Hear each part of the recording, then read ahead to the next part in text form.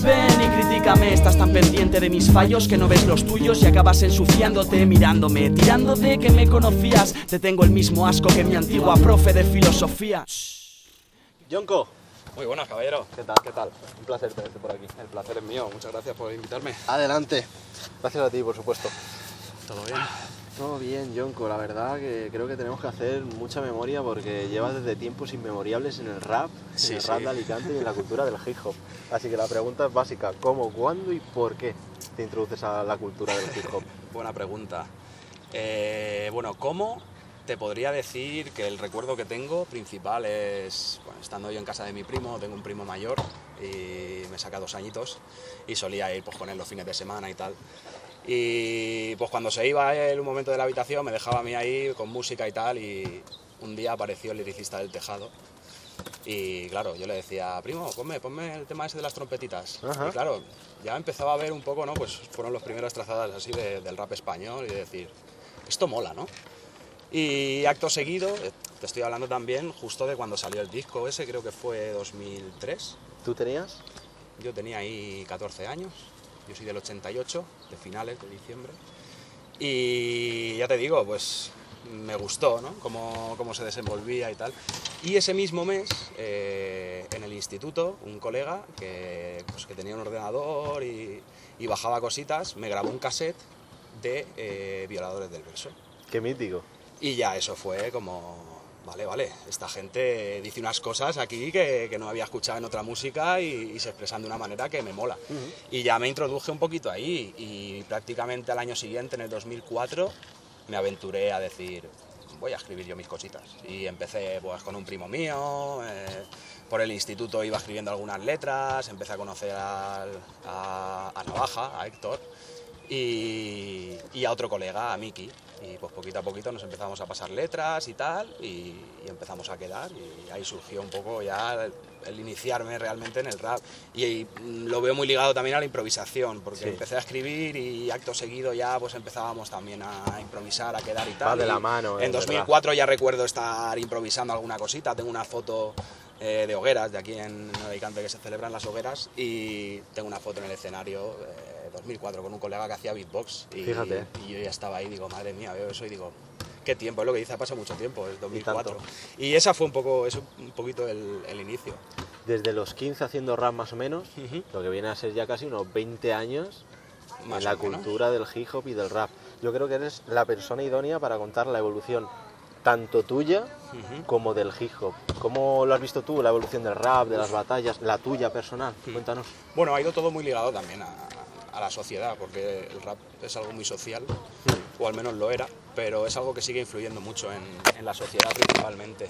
Entonces, la evolución que yo he visto es que era antes teníamos como un sentimiento de hacer rap y de, y de querer soltar lo que fuese que tuvieses dentro y, y que te escuchasen, tú soltarlo en... Y ese sentimiento últimamente también se ha perdido un poco, sobre todo en el rap.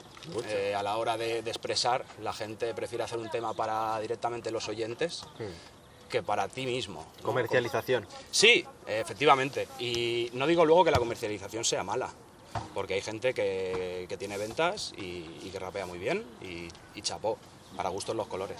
Pero sí que es cierto que hoy en día eh, pues, se ha comercializado todo más y hay muchísima más gente, también hay que decirlo, entonces hay muchísima más variedad, luego hay que saber dónde buscar. Pero sí que es cierto que al haber tanta gente ahora, pues hay mucha gente que es como que, "Bah, lo hago por hacerlo, porque mi colega lo hace y yo también. Es verdad. ¿sabes? Y antes costaba mucho encontrar a gente que hacía rap realmente. Y Mm. cuando veías a alguien que hacía rap, dices, hostia, tú haces rap y tú eres mi colega ya, ¿sabes? Vamos a hacer cosas. vamos". Sí, no y hoy, en, hoy en día ya, pues es hacer rap. Pues otro, ¿no? Que hace rap. Así es. Entonces cuesta más indagar en, en ese tipo de cositas.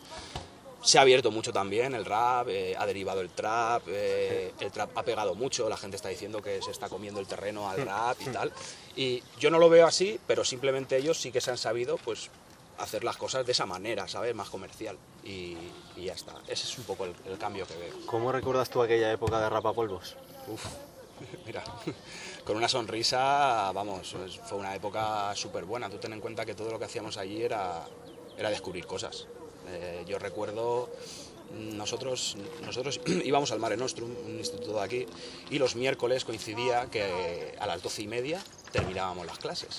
Entonces, claro, decíamos, "Buah, hasta las dos, dos y media que no comemos, tenemos tiempo aquí para, para quedar y hacer cosas. Y eh, mi colega Miki tenía la casa sola y decíamos, hostia, pues vamos a tu casa y nos ponemos ahí. Tú fíjate, con el Acid Pro, un programa de mierda, y con el, con el micrófono del ordenador, pues nos poníamos ahí a grabar temas, eh, improvisaciones. y Ah, tal. Era el año que era, ¿no? Sí, o sea, es que te estoy hablando de, de que era 2005, 2006. Me dirás, era adelante. ¿sabes? pioneros O sea, total. Era algo y que éramos el grupito este, ¿sabes? Que nos juntábamos y estábamos deseando que llegase el miércoles porque sabíamos que al salir nos íbamos a ir a su casa y estábamos ya fuera de- del instituto los tres esperando y Mm. venga, doce y media, eh, vámonos para tu casa y hasta las dos aguantamos. Y de ahí han salido muchos temas que, que les tengo mucho, mucho cariño recordar.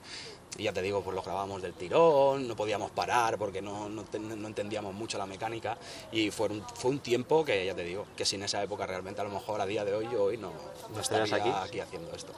Luego, cinco años más para adelante, viene ese proyecto de clase preferente con Arcano. Sí, Un videoclip súper currado, Sí, justamente aquí, en el efectivamente. De verdad, o sea, uno de los videoclips, y más para el año que fue, Sí. impresionante. Más allá del videoclip, que quiero que me cuentes cómo salió esa idea de hacerlo tan espectacular y tan currado, ¿cómo surge ese proyecto musical con Arcano? Pues, a ver, surge por afinidad y porque en ese momento nos, nos veíamos muy ligados en, en lo que hacíamos y, compartíamos mucho, mucho tiempo juntos. Ten en cuenta que Arcano, eh, cuando lo empezamos a conocer, él también tendría 13, 14 años, creo, que fue una batallita. Y pues empezó a juntar con nosotros. eh, hacíamos quedadas antes en, en mi barrio, pues por las tardes quedábamos, pues eso, Arcanos empezó a venir, quedábamos con Navaja, Tase, eh, se venía mi colega el Guas, muchísima gente que nos empezamos a juntar ahí. Yo tenía con Rapapolvo lo mío, que seguíamos haciendo, pero claro, eh, llegan ciertas edades también que cada uno va cogiendo sus ramas, le van saliendo sus obligaciones también que tenemos que cubrir y no podemos dedicar el mismo tiempo. Y coincidió que creo que fue 2009, 2010, pues Arcano y yo eh, pasábamos mu- mucho tiempo juntos, eh, nos habíamos escrito algunos temas y dijimos, coño, ¿y por qué no hacernos una maqueta, no? 10, 14 temas y tal, y lo- pues sí, pues, tenemos, pues podemos, ¿no? Y así fue, de hecho viajamos bastante con, con esa maqueta por, por España presentándolo y tal, y fue una época muy buena. Y conocimos aquí a, a un grupo de chavales que llevan el tema de audiovisual muy buenos, que son Atico 4, y nos propusieron el tema de, oye, ¿queréis que os, que os hagamos un videoclip y trabajemos juntos? Y dijimos, pues ¿por qué no? Escuchar, el, eh, escuchar la maqueta ¿no? que tenemos y si algún tema en concreto os convence y os sugiere una idea.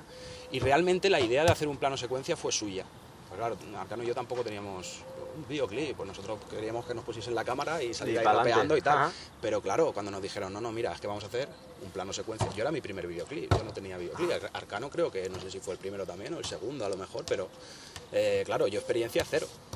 Y dijeron, mira, mira, lo tenemos todo pensado. Claro, los chavales se lo curraron y dijeron, vamos a hacer un plano Y secuencia. tan currado. Claro, el videoclip está muy bien. eh, yo es lo que digo, eh, para esa época no se había visto un plano secuencia en el rap. Nunca. Es- ¿sabes? Yo es creo que por eso que se también- puede sacar ahora, Yo ¿eh? creo que por eso también tuvo la repercusión que tuvo en ese, en ese momento. Y ahí donde lo ves, eh, grabamos como 15 veces la toma. Normal. ¿Sabes? Y vino mucha gente, nos gustó porque vino mucha gente aquí a apoyar, eh, hay planos en los que se ve toda la gente y pues te puedo decir que ahí habían como eh, 80 personas eh, o más involucradas, que estuvimos todo el día aquí y ya te digo que fue una experiencia súper agradable. Muchas gracias a todos los que participaron aquel día. Muy, muy memorable ese videoclip. Además, ya creo que tiene un millón trescientas mil visitas. Creo que llegó hace, hace poquito y tal. lo y vi hace sí, sí. nada y un millón trescientas Ahí mil. O sea, estamos. se, se merece eso y mucho Poquito más. a poquito. Para mí, Yonko, en el tema mediático, con tantos años a las espaldas, debería de ser uno de los máximos exponentes a nivel mediático del rap, pero no se da ese caso. Sin actitud ninguna. Te voy a poner Sí. un ejemplo. Zasco. Sí. No lleva tanto tiempo, pero a nivel mediático es brutal. Hmm. Un montón de seguidores. Y no es tu caso, Yonko. ¿Por qué?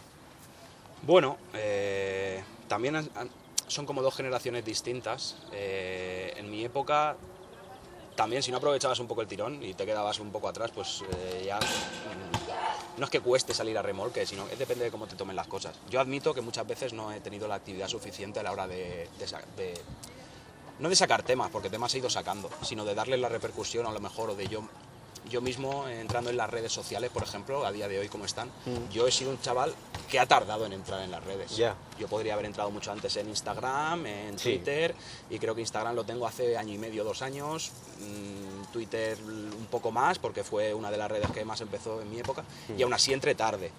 Me explico, entonces todo eso yo creo que también afecta a la hora de ponerte tú ante, ante el público.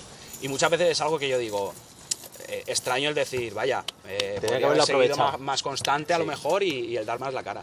Y yo soy consciente de ello y no reprocho nada ni nada. Y es más, cuando me viene gente y me dice, hostia, Jonko, desde 2008-2009 eh, te llevo buscando y ya no por la pantalla, sino por escucharte en temas y tal. Y, y cuando escucho un tema nuevo tuyo me motivo y tal. Pues esas cosas también me dicen, mira, eh, sí. Y yo, creas que no es lo que te digo, yo he seguido, porque yo sigo en mi casa y yo no hay día casi que te diga que no me ponga a escribir un tema. Pero claro, luego es sacarlo, grabarlo y, Y ahí difusión. Ahí está la cosa, ¿sabes? Pero bueno, eh, yo estoy contento, ahora también estoy con muchísimas ganas viendo, viendo todo cómo está. eh, yo me sigo juntando con gente y sigo haciendo freeze y, ya te digo, y, me, y me siento juvenil, ¿sabes? Que aquí donde, donde estoy yo. No sé, me, me siento muy integrado también en, en todo lo nuevo que está saliendo y que me puedo adaptar también muy bien. Y, y estoy con muchas ganas, ya te digo, y por eso estoy ahora, me abrí un canal hace poquito también, en el que estoy intentando pues, ser constante, intentar pues una vez al mes, un temita aunque sea. Y bueno, yo también soy de la generación de las maquetas. Sí, es Yo total, antes era o, sacar total. una maqueta de 10 temas, 12, o cómo te voy a sacar una canción. Claro, hoy en día la Es gente quiere sí. una canción Sí, y con videoclip, si es un videoclip mejor. Entonces, bueno, ha cambiado mucho la cosa, pero nos vamos adaptando poco a Bueno, poco. ya que estamos hablando de eso de School School, eh, Sí. nueva escuela y tal, a la hora de hacer freestyle, o mejor dicho, a la hora de las batallas, ¿con qué Mm. estilo te quedas tú? ¿Con el de la vieja o con el de la nueva escuela? Uf, hombre, a ver, eh, a, mí el, a mí el de la vieja. ¿Sí? Pero, pero te explico, es que claro, antes cuando la gente te iba a una batalla también de la, de la vieja escuela, a la hora de improvisar y tal, eh, era gente que estaba ya metida en el rap 100%. Y, te- y tenía una maqueta a la espalda y si no estaba en proceso y tal. Hoy en día te salen los freestylers, que ya directamente Ajá. te salen con un estilo asociado a su freestyle o lo han visto ya de este, que han tenido referencias. Antes no teníamos referencias, ¿sabes? Y hoy en día es bueno que tengan referencias y se puedan apoyar en, en la gente. Entonces es un poco para gustos los colores, pero, pero bueno, me quedo un poco con, con la vieja, pero bueno, es, es estilo es un poco la vieja actualizándose, ¿no? Sabiéndose adaptar a, a los nuevos tiempos y ya te digo. ¿A ti te ha pasado eso de que bajes a un parque y te tiren de Red ¿Crees que Sí. es lícito el tirar ese efecto, el calle contra Red Bull? A ver, es un recurso que está ahí, ¿sabes? Y tú bajas al parque después de haber estado en Red Bull y, y es normal que te tiren de, de Red Bullero o de lo que quieran. Ahora ya es la cosa de cómo se valore luego un punchline a la hora de tirarlo o las repeticiones de lo que puede ser, ¿sabes? Si estás un minuto solamente llamándole Red Bullero, pues Sí, es como si te tiran de gordo. y ya está, y solo gordo, rato. gordo, gordo, pues oye, eh, está gordo, pero es que la camiseta que llevas aparte, pues me puedo meter mil movidas con tu camiseta, o si llevas gafas o una gorra, ¿sabes? Esas cosas muchas veces se pierden ya simplemente por el estereotipo y, y fuera. Entonces, bueno, es, es cada uno como se lo tome. Yo asumo esos riesgos cada vez que bajo, y el parque me encanta rapear, porque es una sensación que está muy bien, y, y estás con la gente muy, muy cercana, ¿no? Y, y es una sensación que en el escenario... Sí, la tienes, pero es distinta, Sí, sí. ¿sabes? Estás con un micrófono y, y cambia todo. Pero vamos, eh, son riesgos también que tienes que asumir. ¿Crees que ya no encajas en el modelo de Red Bull? No, no es que no. No es que no encaje.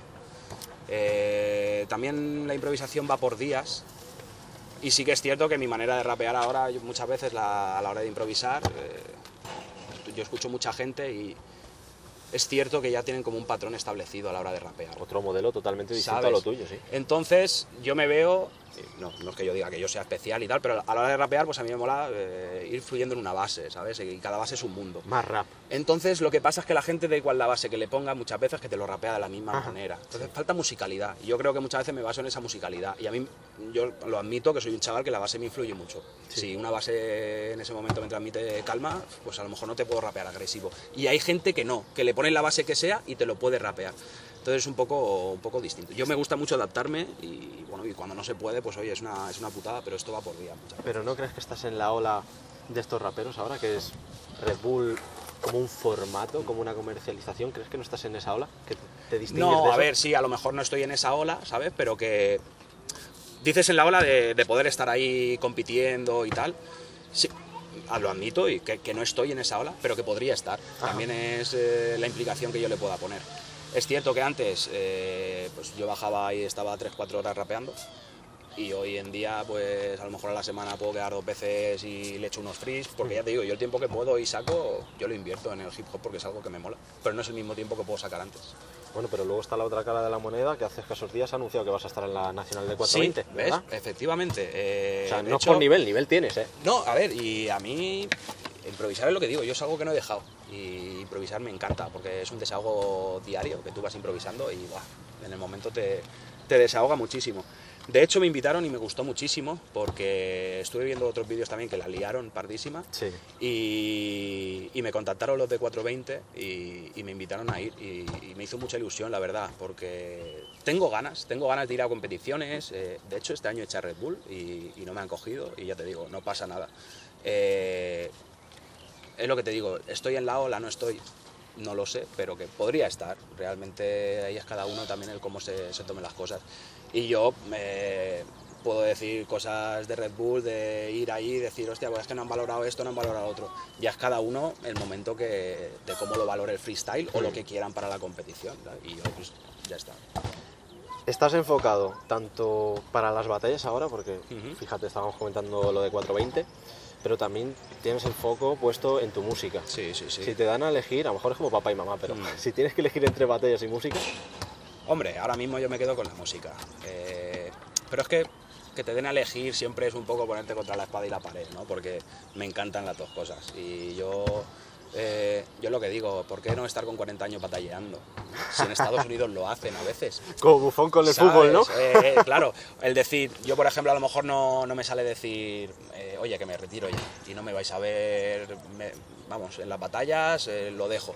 No, no es que lo deje, ¿sabes? Yo voy a seguir participando tanto viéndolas como si puedo participar porque me apetece, voy a participar. Tenga 20 años, tenga 30 o tenga 40, ¿sabes? ¿Por qué no? Qué bonito. Entonces es algo que, pero claro, personalmente a la hora de escribir una canción te desahoga mucho más de lo que tienes en ese momento necesario decir. ¿sabes? Entonces es, es- es muy distinto, por eso te digo, a la hora de elegir, pues a lo mejor personalmente me quedo con la música y tal, pero claro, es que improvisar y hacer batallas me, me mola también, ¿no? Entonces, Pues John, muy agradecido por la entrevista. Hemos eh, comenzado a ti. hablando de eso mismo, de cómo empezaste, Ujú. eh, de tus inicios y cierro siempre las entrevistas de la misma manera. El final, como no podemos saberlo, al menos, ¿cuál es, digamos, tu pretensión profesional y personal? eh, bueno, la personal es ser feliz, pase lo que pase. Eso siempre, Eso- es lo primordial. Y sí. la profesional, pues bueno, eh, respecto a la música, yo es lo que te digo, voy a seguir haciéndolo, traiga la repercusión que traiga. Si, si un día me puede traer dinero a la mesa, como quien dice, bienvenido sea, Así es. pero si no, la voy a seguir haciendo igualmente. Y en lo personal, pues eso, eh, seguir trabajando en lo mío y, y ser constante. Al final es eso. Muchísimas gracias. Muchas gracias a ti por la invitación, muchas gracias.